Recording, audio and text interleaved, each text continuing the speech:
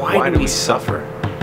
Like, I think that the reason that we have tests and the reason that we suffer is because there's certain qualities about ourselves that we wouldn't be able to develop unless we actually went through a hard time in order to learn them. I think that we suffer so that we can grow.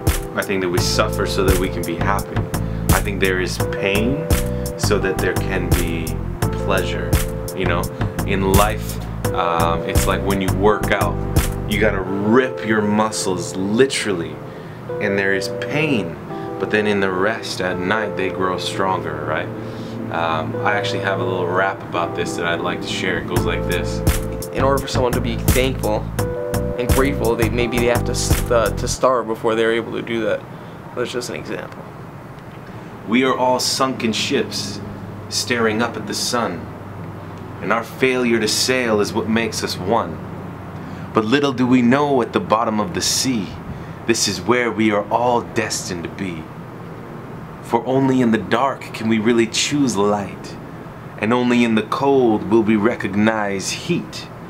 So if only through pain will we cherish joy, then only through tests are we made complete.